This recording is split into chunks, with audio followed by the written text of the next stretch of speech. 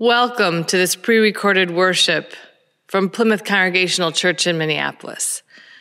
I'm Beth Hoffman Faeth, Minister for Congregational Care and Worship here at Plymouth, and I am delighted to welcome you into this time of worship together. I know that you may be watching at any time of day from a variety of places, and I'm grateful that our community expands and extends in a time when we need to be distanced, scattered, yet gathered, basking in the reminders of God's promises to us and in the love and solidarity of a spiritual community. So, welcome. It is summer, my friends. It is summer. I had someone say to me this week that it just does not feel like summer because of the weight and worry of the world, because of the precautions we are still uh, under and practicing. For many, it doesn't feel like the lazy, hazy days of summer. It's not what we are used to. But I hope in these days, and the beautiful sun and the glorious sky as our gardens begin to blossom and our vegetables begin to bear fruit. I pray that you will find time to enjoy these summer days and to know that even though things feel different, there are ways that we can be reminded of the many blessings in our midst. I don't have many announcements this morning. I will uh, once again remind you that uh, while we are moving through this time of pandemic and we are not gathering in person on Sunday mornings, we are grateful for your enduring and consistent financial support of the ministries of the church. Our food shelf continues to serve hundreds of people. Our school in the in the building is open. We are serving the community a hot meal every Sunday evening, and your help is needed to make these things and more happen. If you stay tuned, you will know of more virtual and small group gatherings that will begin to occur as we move into fall. And so we are grateful for your financial support. And you will see on your screen a way to easily text your gift, or you can visit our website or mail in your pledge or tithe and know how thankful we are. Over the last few weeks, those of us who occasionally come to the building have enjoyed seeing some of our children here during Peace Camp. Great thanks to Nina Johnson and to Dylan Church for facilitating this multi week, safely practiced and distanced event for the children of the church and community. And so today, our children present to us our peace candle, and we are grateful for the reminders of the blessings they bring to our life and to uh, the world and how much each little life is so precious to God. The past three weeks, the children of Plymouth Church have been participating in Peace Camp. The theme of this year's Peace Camp is compassion. We have learned about compassion for ourselves, for our families, for our community, and for the world. This week, our children each got to pick what they would light the peace candle in honor of, and that is what we will share with you now. This week, the Peace Campers are lighting the Peace Candle.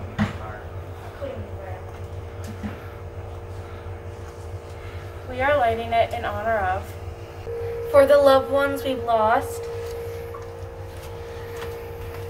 for brave for the brave nurses and doctors. Treats for everyone. For, for Breonna Taylor. a clean environment. For all the people who have lost their jobs. For all the animals.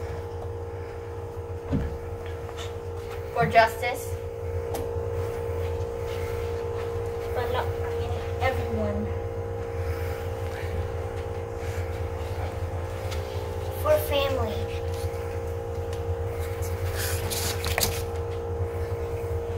For George Floyd. The black community. For all the people who were hurt by police brutality. Wow. Families. Animals. Homelessness.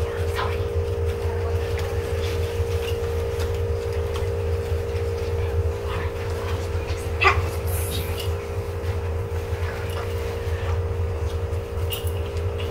Earth. Um, I pray that even though the church is closed, it is still helping and meaningful and meaningful to people. For all of the children at Peace Camp, and around the world. Amen.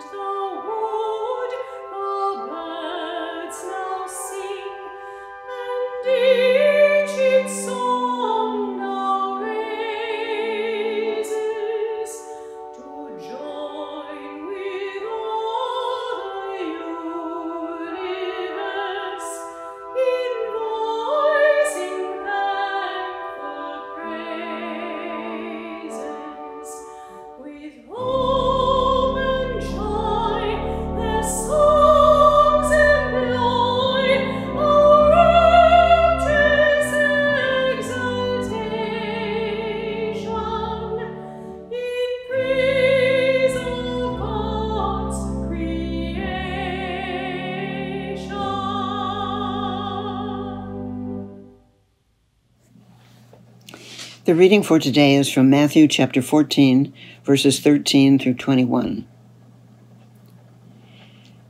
Now, when Jesus heard this, he, he withdrew from them into a boat to a deserted place by himself. But when the crowds heard this, they followed him from the towns on foot. And when he went ashore, he saw a great crowd and he had compassion on them, and he cured their sick. When it was evening, his disciples said to him, This is a deserted place. The hour is very late.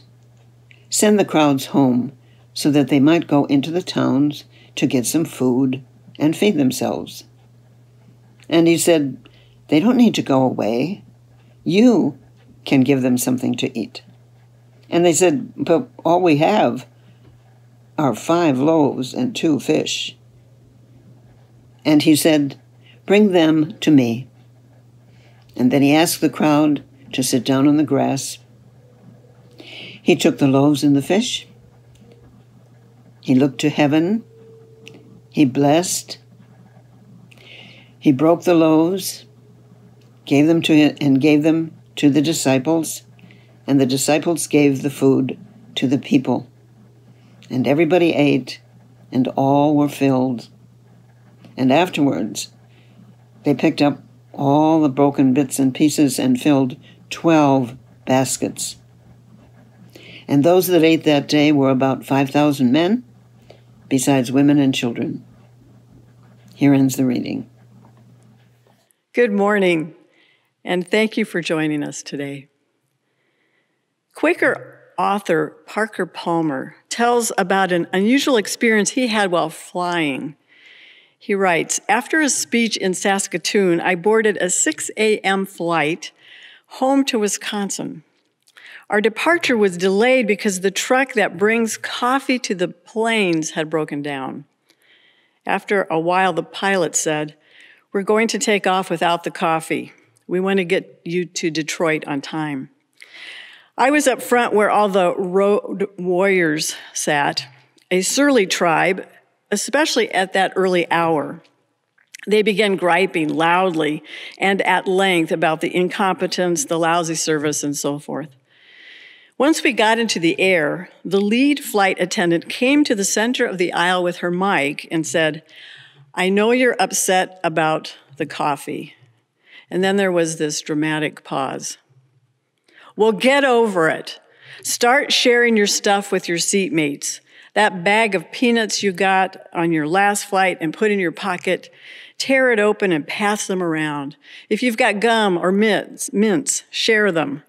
You can't read all the sections of the paper at once. Offer them to each other. Show off the pictures of your kids and grandkids that you have in your wallets.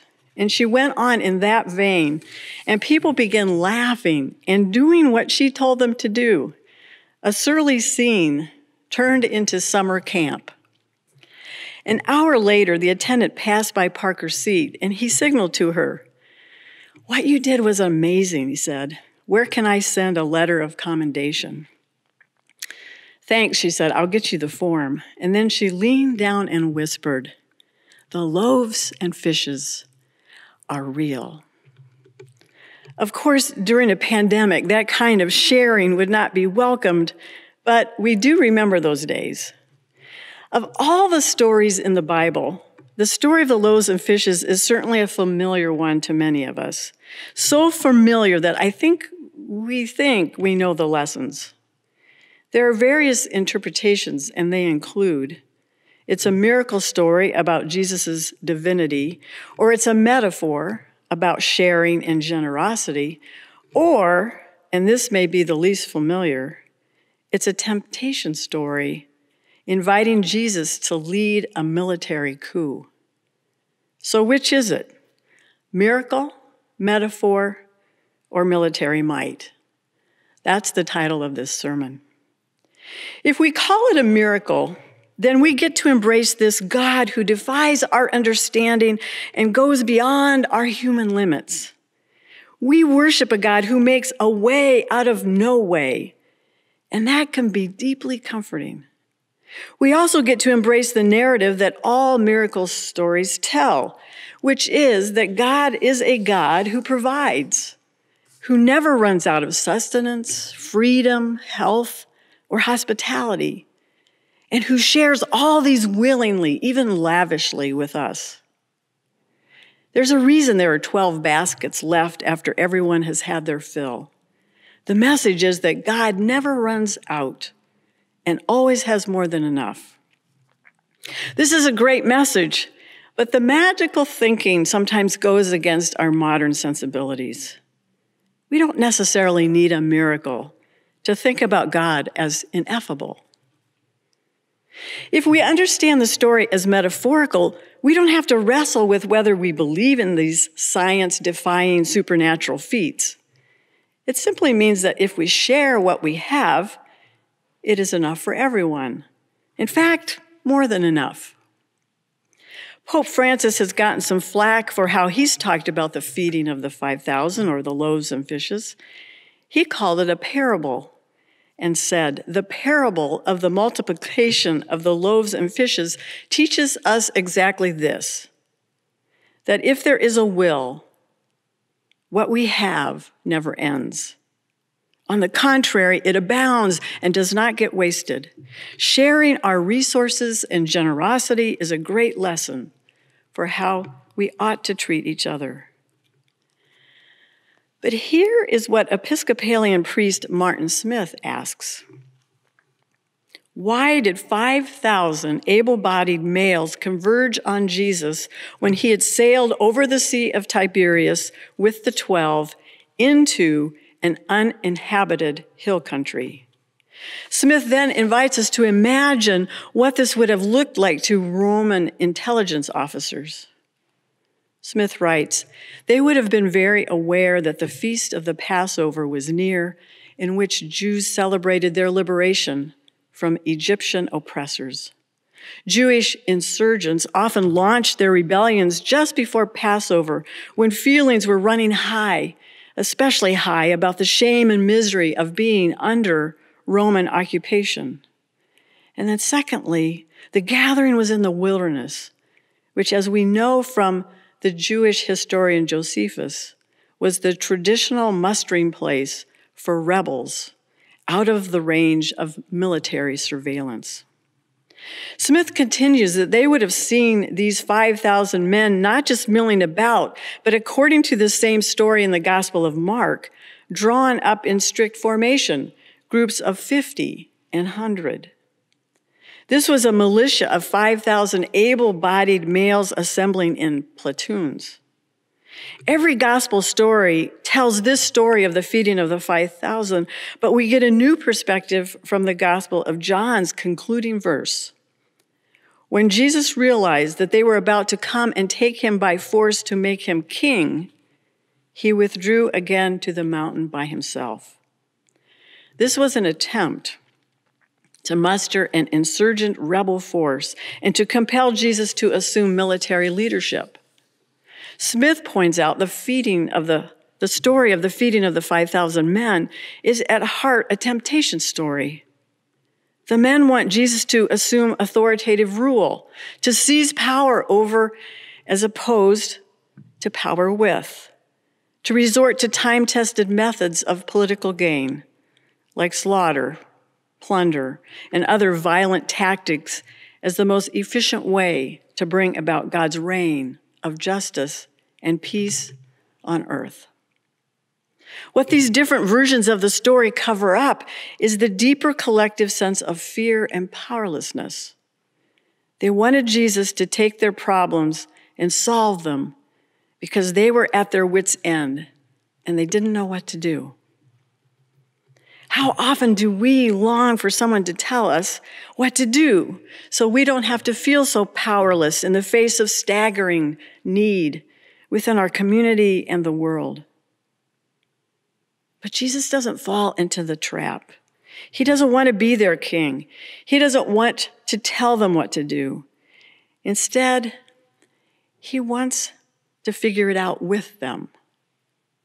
He knows that they are hungry not only for the bread of physical nourishment, but also for the bread of solidarity, the bread of possibility, the bread of feeling that no matter how hungry any one of us is, none of us will be satisfied until we all have a piece of it together. Jesus is saying we all get hungry, and in doing so, he turns the dynamics of power and powerlessness of fear and courage, of victor and rescuer on its head. It's not just about having enough food, but also about the hunger we all feel for the for power to make for the power to make a difference, to have right and just relationships. When we start to despair in our own powerlessness, or worse, become apathetic, towards social needs, or when we start pointing fingers at others whose problems it is to solve, we ignore our own appetites and our own responsibility to be partners in change. Ultimately, this story of the feeding of the 5,000 changes the script from one of the one of expected and forceful do- domination to effective and thoughtful collaboration. In the face of all these men, Jesus turns to a little child. In the face of all this male bravado, wanting to charge the mountain, Jesus says, Have a seat on the grass. He does this in order to build a new kind of power, not just with men, but with children and women as well. He wants to build power with the hungry, not for the hungry, which means that we all need to recognize a hunger within ourselves. What's more, he wants us building power with God, and he ultimately wants us to learn to trust. As Smith says, that our world, God's world, has more than enough. It has thrilling superabundance. On the condition that we cooperate by changing the agenda from overpowering to feeding. And acting in trust creates an amazing quantity of leftover. Imagine trusting in our shared hunger that we all have an equal place at the table and that we all have gifts to bring, all genders, all colors of skin, homeless and housed, hungry and well fed. Imagine acting with trust in our capacity for all of us to give and share what we have, whether food or money or time or talent. Imagine loving each other enough that we stop the violence. Maybe the question for those of us who are well fed is this What do we hunger for? And what will truly satisfy us in the face of our own powerlessness? Until we can get a better sense of what acting in solidarity is all about until we can know what it means to act with and not for others, to speak with and not for others, maybe we need to slow down and be silent and listen. Whether or not Jesus molecularly multiplied the bread and the fish like an amazing miracle, or if the crowds managed to open up their baskets and share with their neighbors, this story opens up the possibility that change can happen, not by force, but by looking within and looking around. Not by looking for a savior, but realizing there's more available to us than we realize. It's a familiar quote from Margaret Mead, where she states Never doubt that a small group of thoughtful, committed citizens can change the world. Indeed, it is the only thing that ever has. Let's be a part of that small, thoughtful, committed group of citizens called the church. Maybe the disciples, like us, needed to be reminded that even when we think we do not have what is needed, what is needed is still at hand. It will come from God. It will come from our neighbors. It will come from those least expected. Because in God's economy, that's how it works. What you have is enough because it is never all there is. God is extravagant. We get to witness the love of God every time we come up short, and yet things get done. Take courage, my friends. Trust in God and do your part. Pray, march, sew masks, volunteer, call people on the telephone, canvass, and vote. For we do have what we need to get through this time in our story. May it be so. Amen.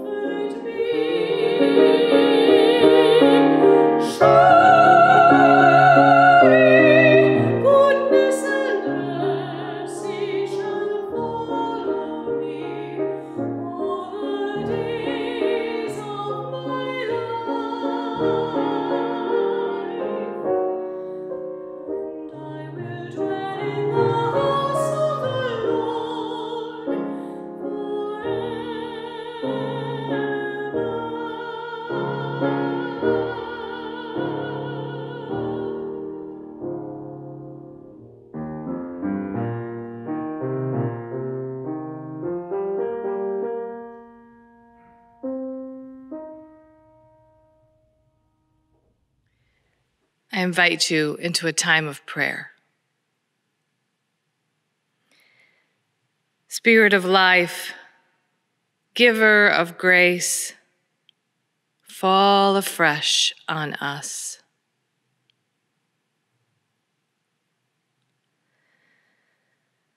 With every breath, our hearts rend with concern for people and places near and far.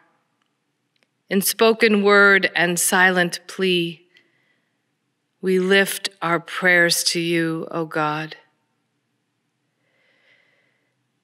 Each day we are reminded of the tragedy that is this pandemic. So many deaths, so many ills, the numbers stagger. Even while we debate the best course for moving forward, for resuming schools, for wearing masks, for recovering the economy, for seeking financial restitution, people are dying. Lives are being destroyed. There is so much suffering. We tend to the grief of our own losses, but the larger picture is too big to bear, Holy One. Help us differentiate between minor inconvenience and major life alteration. While we pray for our own patience, we ask for your balm to comfort the myriad of folks who are grieving in the wake of the power of this virus. We have borne witness, O God, to the possibility of transformation rising from the ashes of despair. Continue to guide us, even in the midst of a global pandemic, on the path of racial justice. When bodies, hearts, and minds unite for change, it can happen, even when the road is too long and the course uncertain. Help us to remember that we already have what we need to accomplish our goal. May we embrace the legacy of so many like John Lewis, whose words of presence remind us of our continuing mission. When we see something that is not right, not fair, not just, may we say something, do something, even risking some necessary good trouble along the way. Keep our hearts ablaze for justice, O God, so our black and brown kindred can be embraced by the reality of your promises. We pray for those with whom we share our lives family, friends, neighbors who are struggling this day, those who are unemployed, those grappling with illness those in despair from broken relationships, those grieving a death, those living with mental illness, those caught in the web of addiction. So many hanging on by a precarious thread, living in the midst of predicaments for which there seems no obvious answer. Hear us, loving God, as we lift up to you those for whom we pray this day.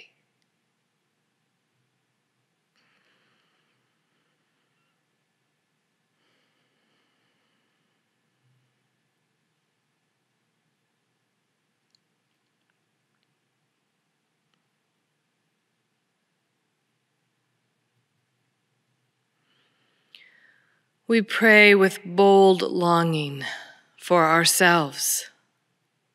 You, O Holy One, know our need, that which batters our spirit and keeps us from being able to fully love and be loved.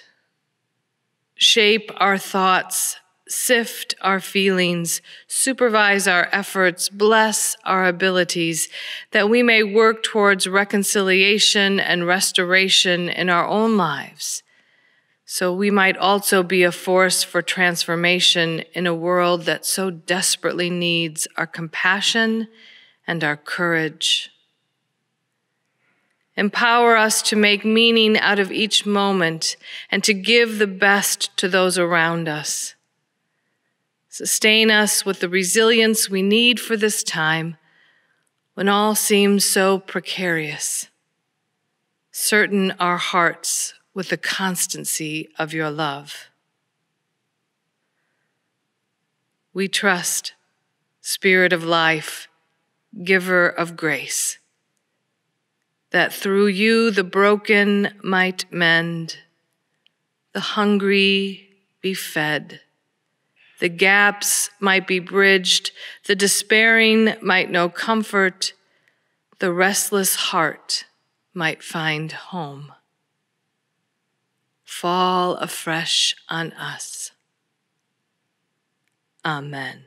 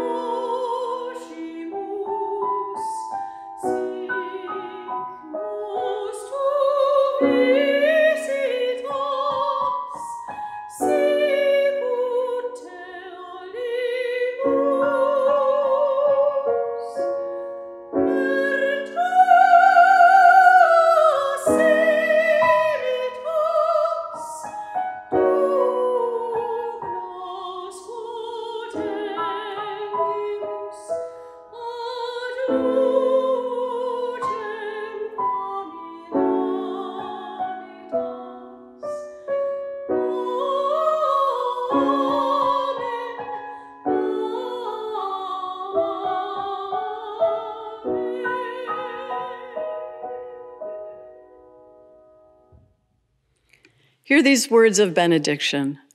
Go into your week knowing you are forgiven and loved perfectly, knowing that you have all you need and are empowered to share God's love with everyone you meet. Go in peace. Amen.